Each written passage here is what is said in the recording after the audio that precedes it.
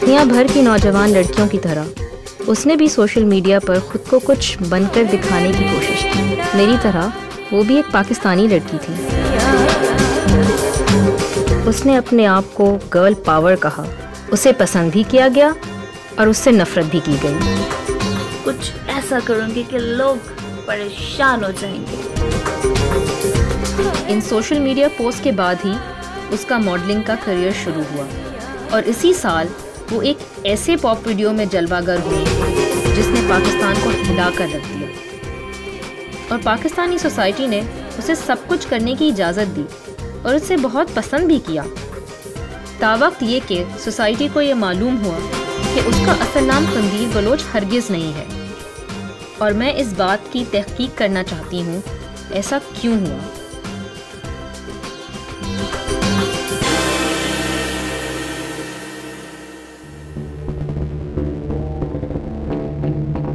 कंदील बलोच का स्टार बनने का सफ़र सोशल मीडिया से शुरू हुआ।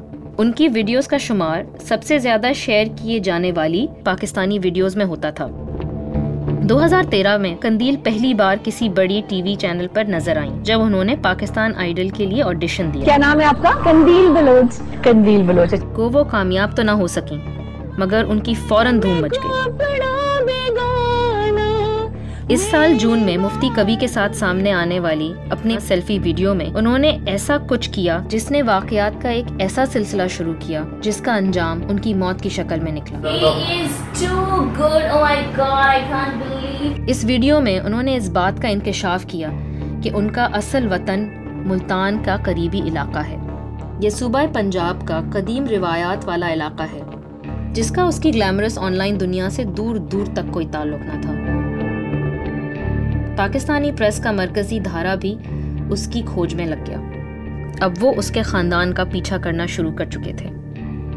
पहली बार कंदील के भाई वसीम के दोस्तों और रिश्तेदारों को ये मालूम हुआ कि वो उसकी बहन है। क्या मीडिया का तर्ज अमल ऊँट की कमर तोड़ने वाला वो आखिरी तिनका था कि जिसने कंदील के भाई को उसे मौत की नींद सुलाने पर मजबूर किया? मुबशर लुकमान एक मशहूर टॉक शो के मेज़बान हैं। कंदील बलोच उनके प्रोग्राम में पहले भी शिरकत कर चुकी थीं लेकिन मुफ्ती कवि के साथ सेल्फियों के सामने आने के बाद मुबशर लुकमान ने उनके साथ एक खसूसी या एक्सक्लूसिव प्रोग्राम किया.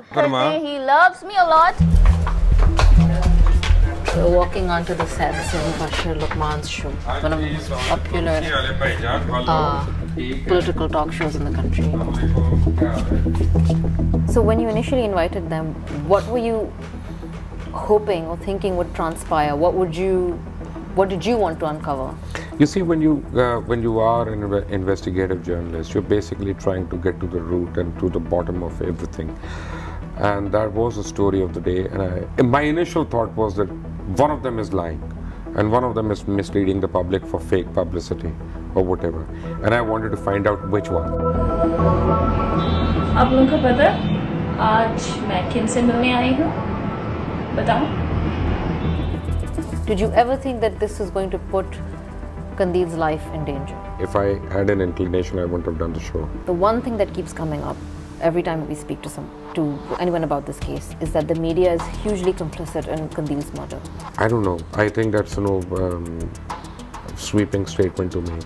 I interviewed Benazir as well, and then she got assassinated.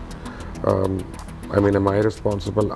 Does doesn't make it um, right or wrong. It's just a job that I do. The local media went to the length of uncovering her passport and publishing really details about her private life. Don't don't mix up two things. I mean, you have paparazzi in Britain for God's sake. What kind of details do they do they dig out? What kind of a bikini is she wearing? And you know whether that's a pink bikini, polka dot bikini. I mean, don't blame the local media. रोज़नामा पाकिस्तान एक कौमी अखबार है, जिसका एक addition Multan से भी शाया होता है, जहाँ कंदील के वालदेन रहते हैं। अखबार में छपने वाली एक रिपोर्ट ने इंकशाफ किया कि उसका असल नाम फौजिया अजीम है, और ये कि वो शाह सदरुद्दीन से ताल्लुक़ रखने वाले मोहम्मद अजीम की बेटी है। अब जबकि मुफब को मालूम हो चुका था कि वो असल में है कौन, कंदील बलोच के लिए गुमनामी में रहकर एक सोशल मीडिया स्टार बनकर काम करना मुमकिन ना रहा। उसका प्रोफ़ाइल आसमान से बातें करने लगा और वो हर तरफ़ टीवी स्क्रीनों पर नज़र आने लगी। I'm the one and only. I'm the one and only. Pakistan के कदामत पसंद और रिवायती माशरे में मीडिया को इस बात का ज़रूर एहसास होगा कि कंदील की शनाख्त से पर्दा उठाना उसकी तजलील के बराबर है। वो तशद का निशाना भी बन सकती है। मैं उस सहाफ़ी से मिलना चाहती थी जिसने उसकी असल शनाख्त को दुनिया के सामने ज़ाहिर किया।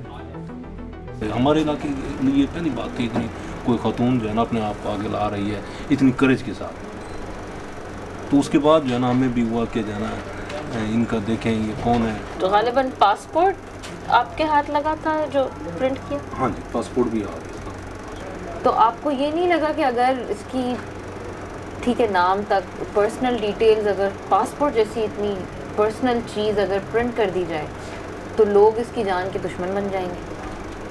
नहीं इसका इतना जो है ना हमें रिएक्शन की उम्मीद नहीं थी। आपको पर्सनली कंदील की मौत कितनी अफेक्ट की है? मेरी पर्सनल फीलिंग यही है। मैं ना करता ये। As a woman, I couldn't believe what he said next. फिर इस तरह के जो मॉडल्स होती हैं उनको भी सोचना चाहिए कि सोसाइटी कितना ऑब्ज़र्व कर सकती है हमें। हम किस माशरे में क्या फेंकने जा रहे हैं? क्या लोगों का माइंड सेट इतना है उसको कबूल करने में उसके साथ उन्होंने जो कुछ किया, उसका मुझे बहुत दुख था। उसके ज़ाती कवायफ, उनकी स्टोरी में कुछ इजाफा नहीं कर रहे थे। लेकिन उन कवायफ की वजह से उसकी तजहीक हुई और उसके ख़ानदान को खिफत उठाना पड़ी। पाकिस्तान में हर किसी को मालूम है कि इसका अंजाम क्या होता है। और इस मौके पर कंदील का अंजाम खुद उसके सगे भाई का रात की तारीकी में उसका गला घोंट कर मारने की सूरत में सामने आया। लेकिन जहाँ मीडिया में काम करने वाले सहाफ़ी और मुफ्ती कवि तूतू मैमे मशगूल हैं, बज़ाहिर हर कोई ये भूल चुका है कि यहाँ उनके सामने एक लड़की अपनी जान से गई और उसका ख़ानदान सदमे में है। अफसोस की बात यह है कि उस, उसके कत्ल के बाद किसी ने आकर अफसोस नहीं किया। कोई एक आदमी भी यहाँ ना आया आपको लगता है लोग शायद इसलिए नहीं आए क्योंकि खौफ ज़्यादा हो ये जो जो लोग इसके साथ काम करते थे? दिलेरी की है बहादुरी की है। आप तो आ गए हैं। मैं इसलिए आई क्योंकि मुझे लगता था कि उसके साथ बहुत ज्यादती हुई है तो मैं इसलिए आई। लोगों ने उसको इतना डीमोनाइज कर दिया था मैं उसको ह्यूमनाइज करने आई हूँ। ये बताने के एक आम लड़की इस मुल्क में किस मरहले से गुजरती है, उसके पास कोई अपॉर्चुनिटी नहीं होती। तो उस पर तनकीद करना बहुत आसान होता है, लेकिन उसकी ज़िंदगी को अगर आप देखें, वो किस, कहाँ से उठ के आई है तो शायद आपको समझ में आए कि आप भी उसके दोषी हैं। ऐसे बहुत सारी कंदीलें मौजूद हैं जिनको आपने आगे बढ़ने का मौका नहीं दिया। मैं इसलिए आई। थैंक यू थैंक यू हमने जो है ना फील किया है। आपको मैंने ये देखा है कि आपको बहुत एहसास है। मैं इस बात पे हैरान हूँ कि आप जब मुल्तान गई थी, भी मैंने आपकी शक्ल देखी, जिस तरह थी, आपकी आँखों से आँसू बह रहे थे। जबकि करीब तरीन जो रिश्तेदार हैं, उनकी आँखों में मैंने आँसू नहीं देखे, मगर आपकी आँखों में मैंने आँसू देखे।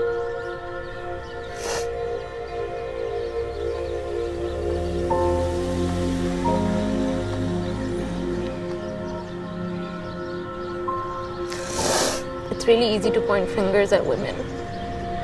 But if you just take a look at where she was coming from, you have nothing. The only option you have is to just accept your fate and just die trying to be someone. She died trying to be someone. Because she didn't want to accept this life of abject poverty and, and constant humiliation and abuse.